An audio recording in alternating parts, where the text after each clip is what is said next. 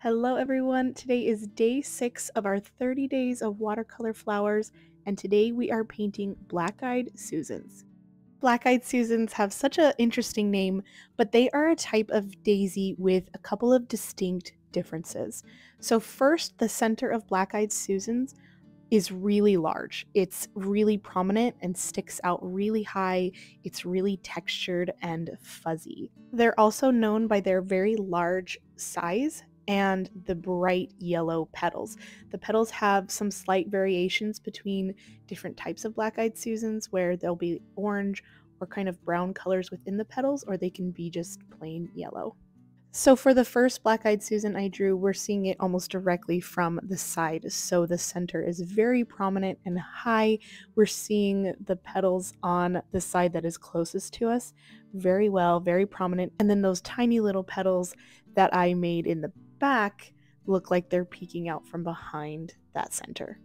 The second Black Eyed Susan, I flattened the center a little bit more so that it looks like we're seeing more of the top of the flower. And then I have the petals coming out from the back side a little bit more clear.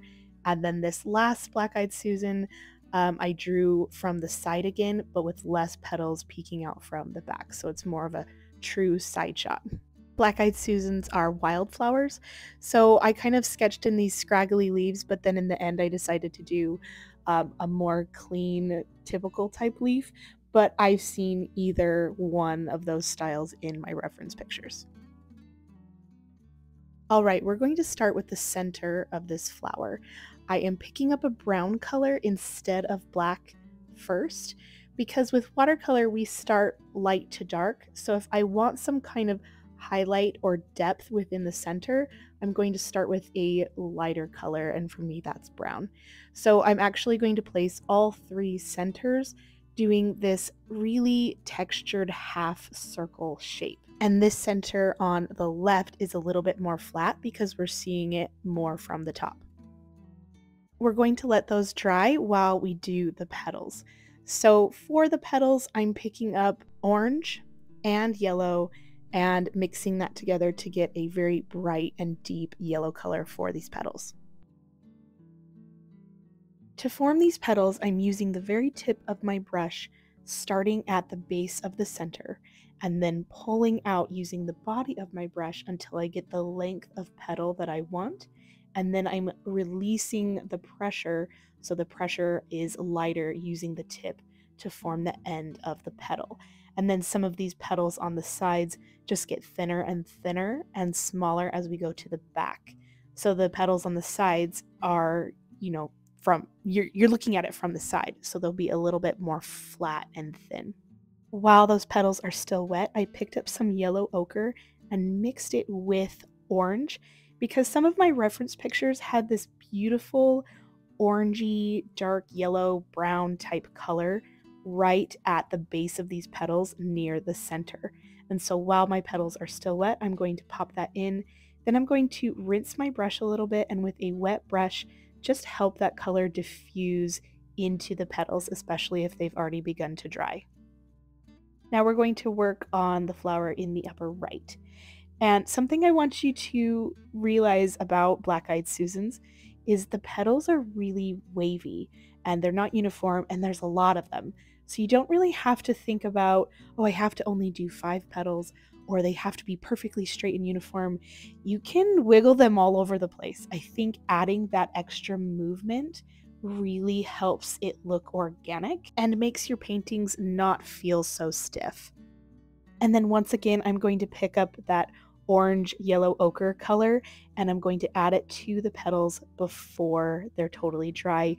And some of them will diffuse a little bit more, some won't, and I'm just doing tiny little dots on those petals that are around the back.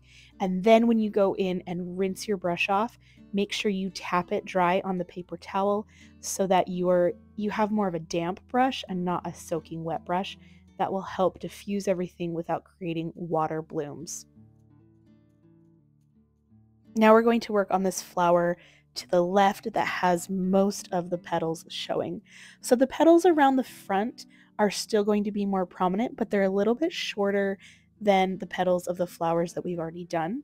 And then as we bring these petals in the back, they're a little bit angled to give the idea that it's pointed up to the left. And they're still shorter, but they're a lot more visually prominent than the back petals on the flowers we painted already.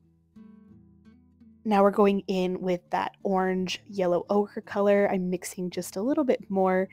And if you want to, you can skip this step. A lot of the black eyed Susans I saw online in reference photos are just beautiful, bright yellow and don't really have um, a whole lot of this detail and texture.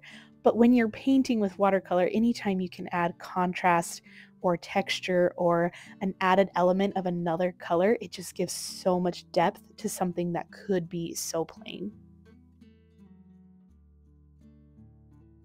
Now I'm going to add some yellow to the sap green that is already on my palette to get a little bit of a brighter green color. And I'm going to paint the stem nice and straight with a little bit of a curve. Anytime you can add that curve, it really adds movement, which is necessary for paintings. And then I'm doing my two stroke leaf method, where I start with a tiny little stem coming off the main stem, and I start with light pressure at the tip, push down with the body of my brush until I get the length that I want on the leaf, and then I release the pressure coming to the tip of the leaf and then I do the same thing again on the other side, leaving a little bit of white space to represent a vein. So with this painting, I'm trying to not overload it with leaves, but I want it to look visually appealing. Um, so I'm kind of filling in the gaps, thinking, where does it need a leaf? And then I felt like it needed one more leaf to throw off the very even Steven balance of the three leaves. So I added an extra smaller one to give a nice little grouping and balance on the left side. Now, while all of my leaves are still pretty wet, I'm picking up more of the sap green just to increase the pigment to water ratio that I had going on. And then I'm tapping that dark green into my stems and leaves to get some shadowy contrast areas. So right now I'm just kind of plugging it in here and there. You don't want to overwhelm your subject, which in this case is leaves. You don't want to overwhelm it with the contrast, but without the contrast, it lies flat. So then once I put the color in, I can wet my brush a little bit, tap it on the paper towel, and kind of smooth some of the areas out, taking away some of the paint, uh, making it so that there are some areas with smooth edges, some areas with the harsh lines, but then overall it gives a lot of depth when you're finished. Now we're almost done, but we need to actually give our Susans a black eye. and so we need to pick up some black and we're mixing it with the brown that's already on our palette. And I'm going into the center and I'm just creating tons of texture now that we already have our petals in creating tons of texture doing this dotted technique and I'm leaving some of the brown showing through so that it gives a highlight. It has the depth that we need because when we're working with watercolor, anytime you can have two colors representing one color, it gives a lot of depth to the area. So we need some of that brown to peek through. And with that, our Black Eyed Susans are finished. Now the only thing left to do is add it to the day six spot on our 30 day watercolor flower guide. I kept it simple with just the plain yellow and I love the pop of color it adds to the overall guide. Thank you so much for being here today while we painted Black Eyed Susans for day six. I will see you tomorrow for day seven. Bye.